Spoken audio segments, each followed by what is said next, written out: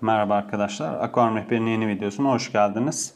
Bu videoda alışılmışın dışında bir tür olan Microctenopoma ansorgi'den bahsedeceğim. Önce genel bilgilerden bahsedeyim. E, toplamış olduğum yerli yabancı kaynaklardan. Sonrasında e, kendi deneyimlerimi, bugüne kadar ne olduğundan bahsedeceğim. Şöyle bir genel bilgi verelim. Doğal yaşam alanı Kongo Nehri ve Madagaskar olan ansorgiler en fazla 7 santim boya ulaşabiliyorlar. Akvaryum ve tasarım nasıl olmalı? Zıplama özellikleri olduğundan kapak veya buhar camı olan mümkün olduğunca bol bitkili bir akvaryum tercih edebilirsiniz. Su değerleri ise Blackwater su değerlerine yakın olmalı. Bunu da dış filtrede peat kullanarak sağlayabiliriz. Su değerlerini e, istenen düzeye çekmek için pH mesela bunda 5,5-7,5 aralığında. E, 5'lere falan çekmek için e, yaprak, çınar yaprağı, kattapa yaprağı veya e, peat yetmiyor. Bunun için Osmos cihazı almanızı öneririm. O da 300-400 lira civarında e, bir değere sahip. Yani e, verilebilecek paralar eğer böyle özel türler beslemek istiyorsanız, yavru almak istiyorsanız. Sıcaklık zor değil. 20-27 aralığında yaşayabiliyor. Sertlikte 5 ila 20 arasında olmalı. Beslenmeleri canlı ve dondurulmuş yem ansorgiler için öncelikli tercih olur. Ancak benim ansorgilerim kuru yemede kolaylıkla alıştılar. Tabii ben canlı yem ve dondurulmuş yem vermeyi de sürdürdüm formlarını korumaları için.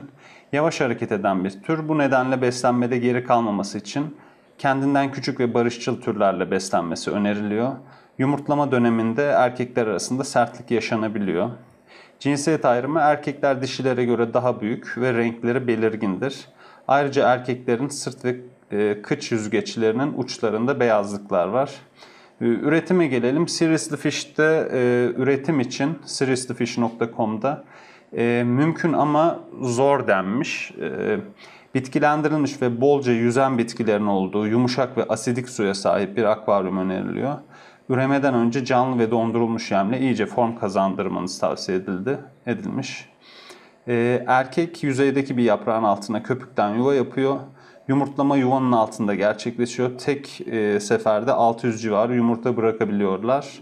E, yumurtalar 24 saat içinde çatlıyor. 2-3 günde de serbest yüzüşe geçiyormuş en etkili görselliğe sahip Afrika labirentlilerinden gerçekten e, hani normalde çamur rengindeler. Çok e, basit görünüyorlar böyle e, ilgi çekici değil ama e, kuru yaparken veya erkekler arası bir mücadele olduğunda gerçekten e, siyah ve kahverengi tonlar çok rahat ayırt edilebiliyor ve çok güzel bir görselliğe sahip oluyor.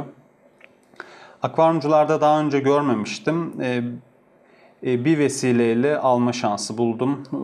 Uyum sorunu yaşamasını bekliyordum. İlginç bir şekilde hiç sorun yaşamadan e, birlik 5 e, tanesi, bende 5 tane var. 5'i birlikte aynı akvaryumda huzurla yaşıyorlar. Bol bol saklanacak yer var. Özellikle bunu altın çiziyorum. Hani akvaryum az dekorlu falan bir akvaryum kesinlikle olmuyor. Yüzey bitkisi ve uzun bitkiler, arka plan bitkileri, orta plan bitkileri e, gerçekten balıkların e, balıklarda bu balıklarda olmazsa olmaz diyebilirim. Ben bitkileri ve dekoru çıkardığımda çok huzursuz oldular.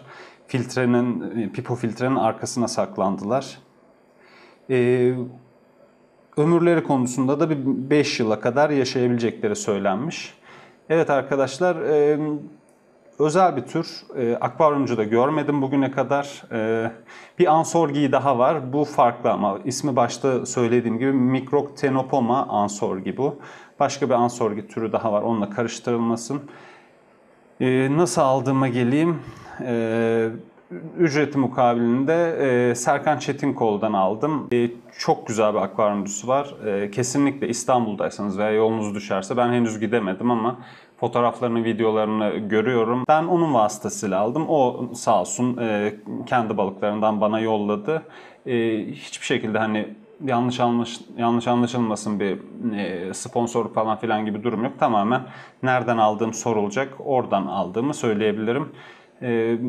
Farklı türlere ulaşmak isterseniz de gerçekten işini iyi yapan, balıktan anlayan ve hani hobi geçmişi olan insanlardan hep bugüne kadar dikkat ettiyseniz almanızı önerdim. Bala e, canlıya değer veren bir insan. Oradan farklı türler içinde, farklı apisto türleri veya diğer Güney Amerika veya neyse Afrika e, bitki, yem, malzeme hani rahatlıkla e, bağlantı kurup güvenerek satın alabileceğiniz birisi. Henüz yavru alamadım bu balıklardan. Açıkçası pek uğraşamadım da. Hmm, Su neyse, değerler neyse onda yüzey bitkileri falan var ama e, herhangi bir sorunları yok. Büyüyenler var. E, diğerlerine göre nispeten küçük olanlar var. E, ben şahsen beğendim. E, düşük bir litrede bakıyorum. 45 litre civarı aslında m, bir çift çıkarıp bu akvaryumda 45 litrede sadece o çifti bakmam e, ihtimali çok daha artıracaktır. Ama işte cinsiyet ayrımı da kesin değil. E, karma akvaryumlarda henüz denemedim. E, çok karmaya atılacak bir balık diye gerek yok. Yani çok özel bir tür. E, ayrı bir akvaryumda bakılmasını öneriyorum. Umarım ben de ben de kaldıkları sürece onlara gereken değeri veririm ve çift e, alıp bir üretim deneme düşüncem var zaten aldıysak üretmek için. Hani o keyfi balık bakmadaki en büyük keyiflerden biri de üretim. Bunun için alıyoruz. Evet, Ansorge ile ilgili söyleyeceklerim bunlar.